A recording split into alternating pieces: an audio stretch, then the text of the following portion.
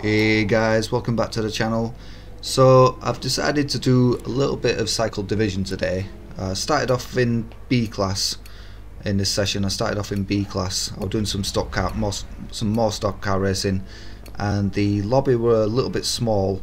So I've gone into Cycled Division, and obviously I've chosen the Alfa Romeo Spider. So here we go. We'll see how we do. Nice little launch off of the line, better than the uh, prelude there. Um, somebody else has got a little bit, looks like maybe using a bit of a speed tune, but he's probably going to struggle at Lime Rock.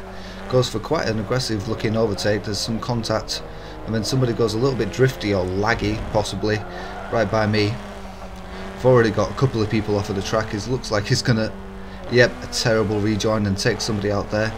So he's actually come off quite well, he's uh, rejoined really badly, but now he's off the track again, and I rather cautiously pass him. It looks like I've got the run on the guy in the prelude. I think that's a prelude. But he's managed to get to the corner before me. So looking back it looks like we're clear of any trouble now. Just getting my braking points for the chicane. It's quite a tricky one. I'm going to try and keep it clean here for now. Uh, sometimes I like to take the, the old Forza lines uh, before the before we had the race regulations and the newer uh, the change the track limits. I sometimes just on, on this track um, if, it, if it's not too much of a serious race you know if it's just a fun like this one uh, sometimes I'll just take a bit of a cut on the the, the left hander the, the last part of that chicane so I'm getting a little bit closer now to the guy pretty sure that's the 94 Prelude. Quite a nice car actually. He's gone, taking a very strange line. He's got it all wrong, so I'm just going to rather, again, cautiously take the cut back and get that position. That's another position. And now there's quite a gap to the guy ahead, to the next person along.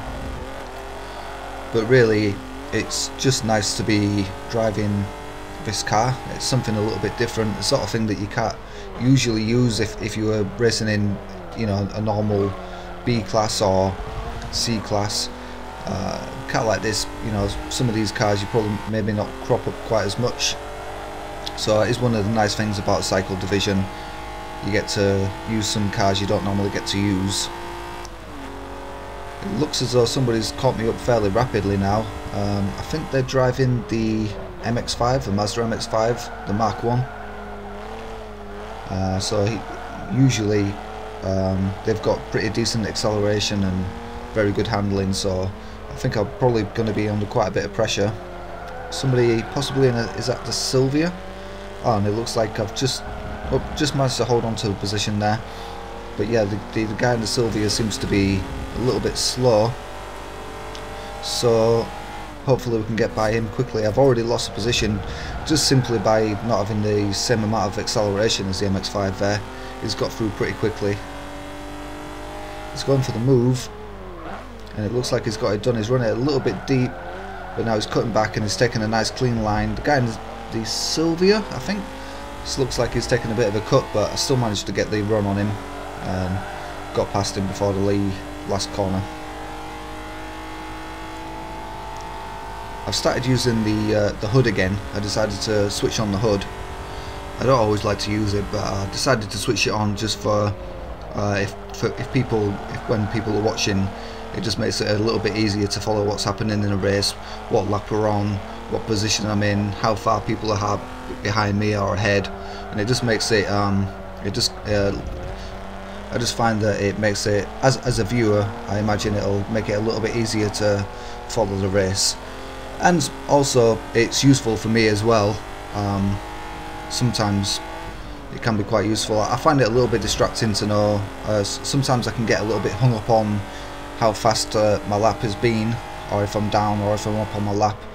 But um, yeah, sometimes it is quite useful uh, if you if you get if you forget which lap you're on.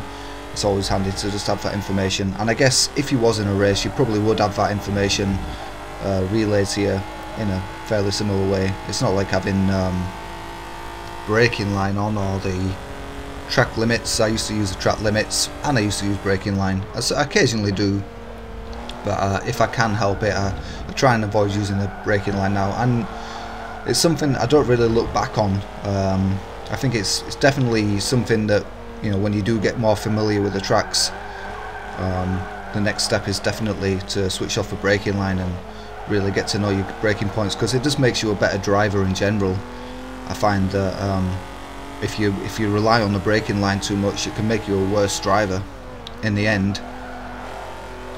But I've managed to catch up with the guy in the Subaru Brat I think that is. It's the guy who's really fast off the line. It looks like as though yep it's definitely taking a fairly clean line. Certainly a cleaner line than I took. But as I said you know it's just a little bit of fun. It's just I've come into this lobby for a little bit of fun so I'm not going to take it too seriously and be too strict on the the racing line. I think I think the the you know top drivers and the good drivers they kind of have a bit of an understanding that you would run the curbs a little bit if it was a real race. And sometimes the track limits, the Forza track limits are a little bit excessive.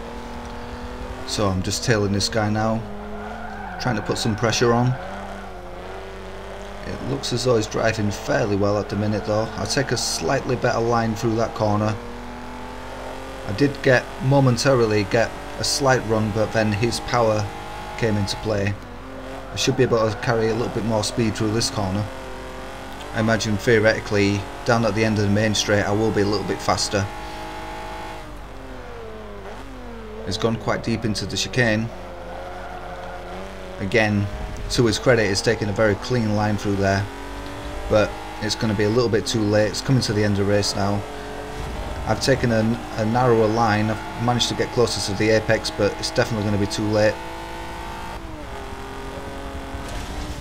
And there we are. It's going to be a fifth place. And we can have a quick look at the results now which you know pace wise is not too bad considering I'm only driving a rental I've not bothered to get a proper tune. A lot of these guys are probably using uh, actual tunes, whereas I've just decided to go. You see, as you can see here, this is for the next race. It happens to be the same track, but I'm just using uh, just using rentals. Uh, I just, you know, I think it's just more more realistic again, you know, to not be using the Forza wings. So I'm I'm just using whatever car they give me and just the standard uh, homolog homologation tune that that you get there's quite a nice range of uh, cars to choose from in, in this uh, division. Here we go, I've gone for the the Silvia, I think. It's Nissan Silvia S15 possibly, I don't know, correct me if I'm wrong. I think that's what it is, I can't remember what I chose now.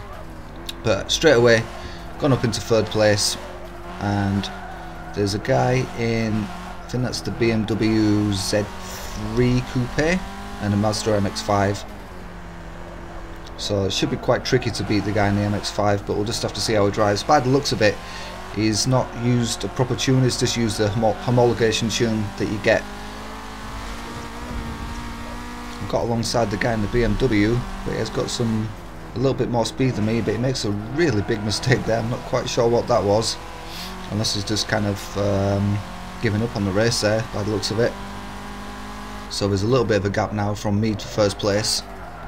I'm going to try and keep it clean, but as I say, not going to worry too much about track limits.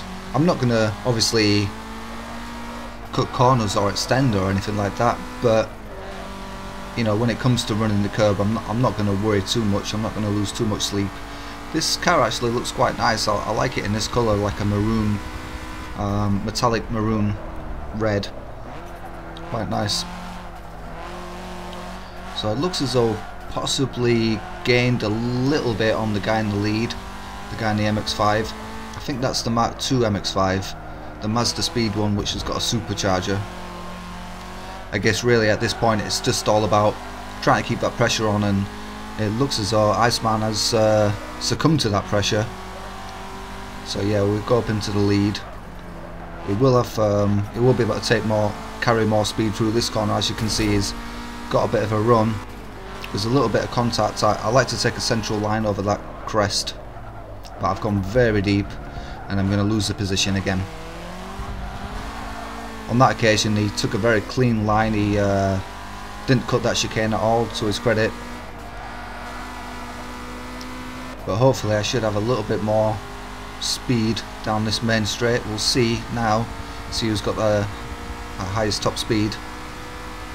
And then I use my braking marker on the right hand side there. It's just the end of that pit lane. It's a little bit more reliable than the boards on the left hand side which can sometimes get knocked over if somebody crashes on the left hand side there. Well I'm just keeping it nice and narrow here.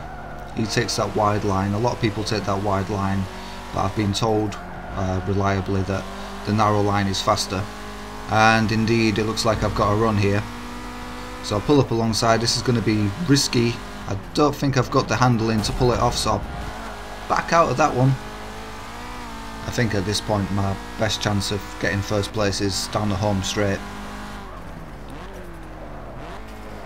Takes a nice tidy line on the right hand side but then completely cuts the chicane on the left hand side. I think that that's maybe I would say pushing the track limits too far that time. And he has managed to open up the gap. I do find it quite annoying when people drive clean until they're under pressure and until they think that the lead might lost. I have seen that quite a few times where people will just completely drive completely clean and then as soon as you catch them and it looks as though you're going to get past them they'll just start cutting all the corners and then if, if they get back into the lead and uh, get a little bit of a gap then they start driving clean again and try to get that clean lap. Quite annoying. It's not the worst thing in the world but yeah it does look as though for this race track limits are going to be out of the window. At least at the chicane so now it's just a matter of trying to reduce that gap again.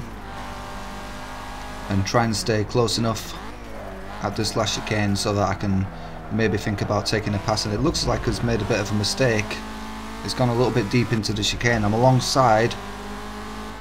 It's a little bit dicey I knew there was no way around the outside so I'm just going to stay as close as I can and this is the opportunity I've been looking for it's still got the acceleration but surely I've got more top speed his car's lighter I use my braking point it's just about the end of that yellow line for the pits it's very close. I'm trying to keep the pressure on. I don't really want to make contact, but the odd knock here and there is going to be inevitable when you're racing this close. There's much, much I can really do around here except stay as close as I can.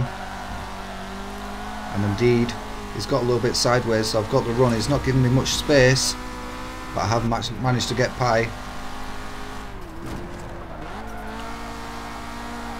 probably going to get a better exit through here than me. All I can do here is just make sure I don't run wide. I managed to keep it nice and tight to the apex. Then again he's completely cut the chicane again and managed to use that to get by which to me is quite shameful really. I mean it's one thing to cut the corner but to cut the corner so much that you can actually get past somebody it's just something that I would never do. I'm going to try and outbreak him, but I've not managed to do it. He's running it around the outside, but I am a little bit annoyed now because of that pass. So the conservative driving that you saw at the beginning of a race may now be replaced by a slightly more aggressive one. And I may go for moves in the second half that perhaps I wouldn't have in the first. So again I've got the run in this uh, same straight down to the right hander. I don't want to back out this time but he has managed to go around the outside. He's run a little bit wide. I'm going to take a look down the inside at the chicane. But there's nothing really on there. He's cut the corner again. He's got it sideways. I'm going to follow him through with, this, with the corner cut. And then the shit hit the fan as Nelson Piquet said. And he didn't really do much to um, fight that one. He just seemed to give up and let me take him off the track. It was only a slight tap, but I decided the best thing to do would be just to slow down and now I just got to let him take the race, which is an unfortunate ending. I would have liked to run it right down to the line in a drag race and he did brake slightly. I think it was gonna he was thinking about letting me win that race but in the end it's the second place, which is not too bad, although it's a very small lobby. but it was just nice using some different cars and I did enjoy that you know there was uh, a little bit of battling uh, it's just a shame that the lobbies were so small today I'm going to try a little bit later on and hopefully the, the lobbies might be a little bit fuller. But yeah it's just one thing to mention uh, if you are going to do Cycled Division or stock car racing or anything like that or just using stock brakes in general uh, I, it's a little tip of mine if you haven't thought of it to go into the controller settings the advanced controller settings and then lower the braking decel from 100% or whatever it is that you're using down to maybe 70%. I think 70% is quite good for stock cars and uh, Cycled Division where you're just using homologated cars like these ones. And I just find that it makes it a little bit easier to brake and steer. At the same time obviously you're doing braking and steering with your left hand.